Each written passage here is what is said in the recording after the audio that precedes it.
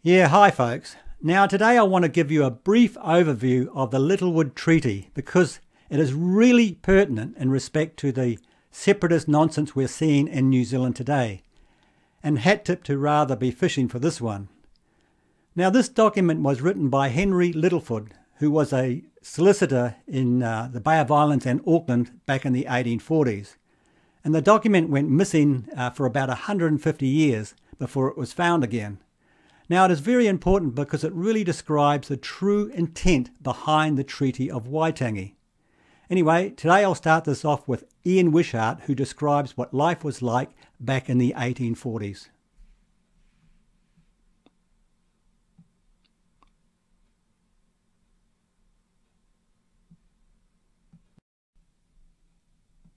Uh, what I've done is I've gone back to the official documents of all the explorers and settlers who came to New Zealand since uh, basically Abel Tasman arrived here and wrote reports on it. Mm. And I've gone back and done the complete lead up to the Treaty of Waitangi so that we can see in context what Māori society was like, um, what political, uh, political um, groupings existed within Māoridom, what their aspirations were, what they understood settlers to mean, what they understood the treaty to mean uh, so that we can get a clear photograph, a hmm. snapshot of 1840 and the years leading up to it, to say what did Māori really think about the treaty? Forget about what you've heard now. Forget about what uh, well, the Māori Party is, is saying and everyone else is saying about what the treaty means.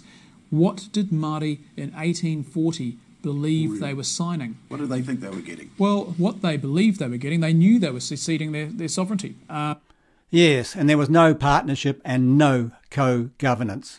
They knew that? They knew it. They explicitly had arguments about it at Waitangi, hmm. uh, and they had huge discussions about it. And, and the reason that they did it was, was uh, for several reasons. One was that the missionaries had come to New Zealand and they had brought the gospel uh, to Māoridom.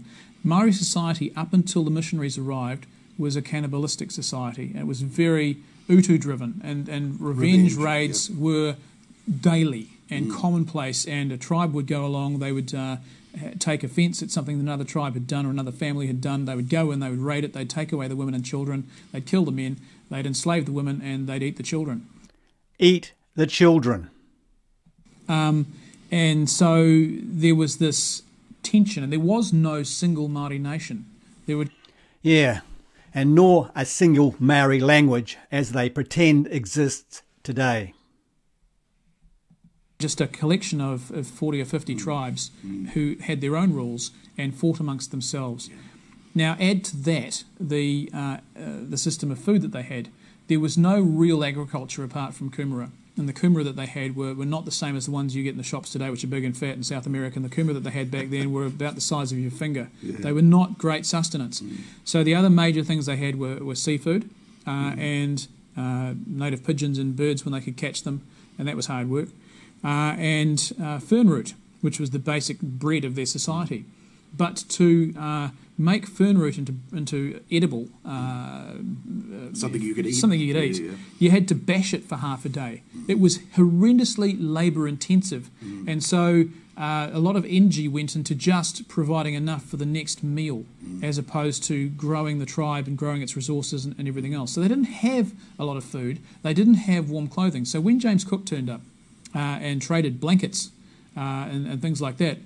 That's what the Māori wanted because they mm. said it keeps us warm. Yeah.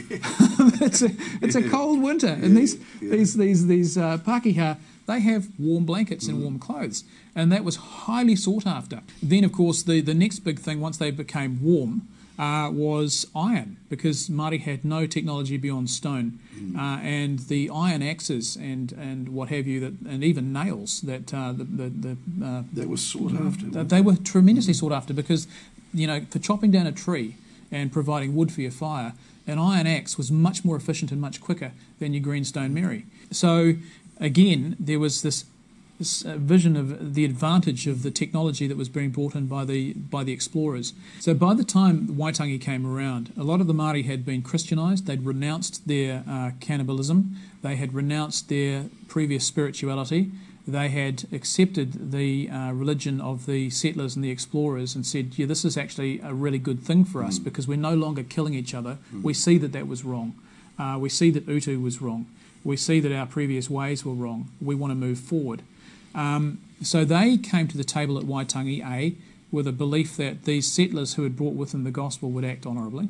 Mm. But they also understood that in doing so, that they needed to surrender their sovereignty to Queen Victoria and that this would be a change in, in the way that New Zealand was mm. forevermore.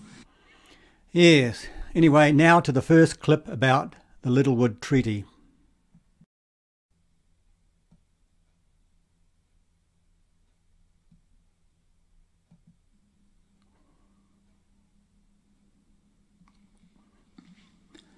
A couple of things happened in December 2003 and January 2004, which effectively hobbled the Treaty Information Unit's planned program of ideological indoctrination. Investigate magazine published an article with ongoing commentary and subsequent issues which challenged the very foundation upon which modern interpretations of the treaty were built. A long standing unresolved issue concerning the treaty's true intended wording was jettisoned back into the public arena. From that moment on, planned government program of educating the public about the treaty's true meaning and intent would first require addressing this outstanding issue.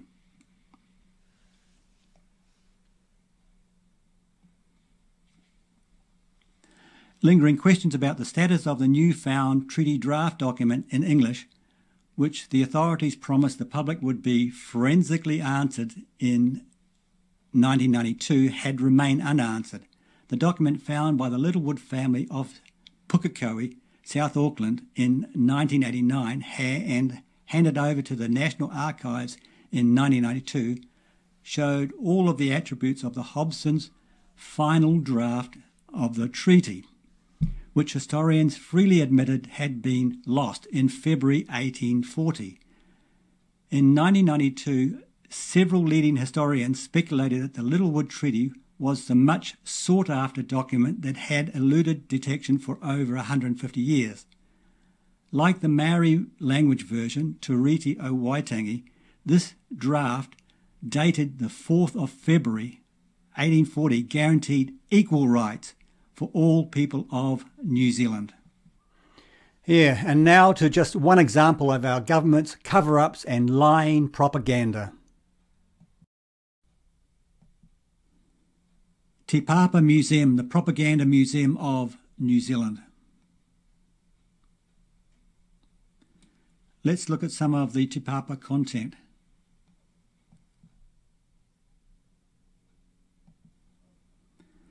Now, I'm sorry, folks, I couldn't fit all this on the screen.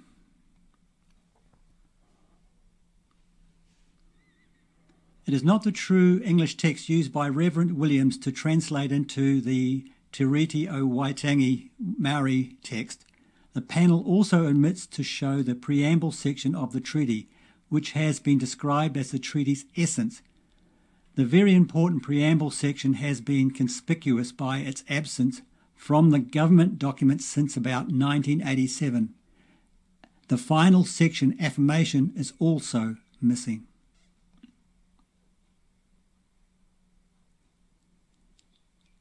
And the same applies to the Maori version and to this version as well. They've used lighting to darken it out at the top and at the bottom. Yeah, and now to the treaty.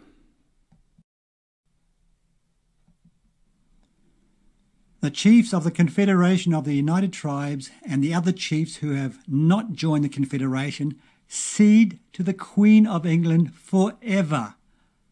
Forever.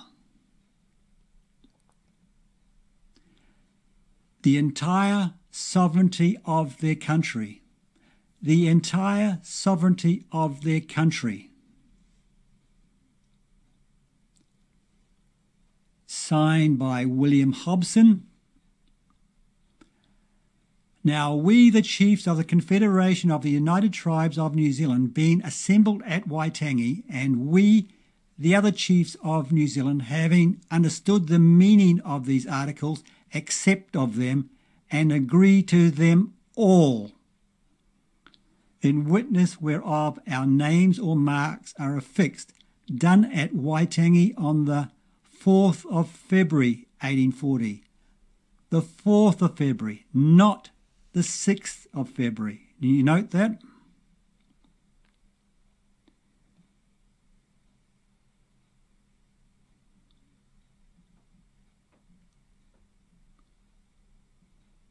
And you can see Hobson's signature there.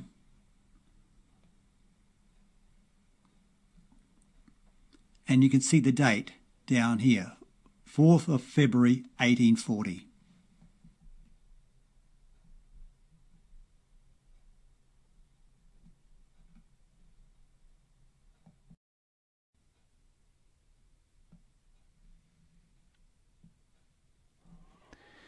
Yeah, now, folks, I've only scratched the surface of this document and the other stuff that's been going on in New Zealand. So I strongly urge you to see the Treaty of Waitangi website. Now, I've posted a link to it along with a link to Ian Wishart's video in the description below.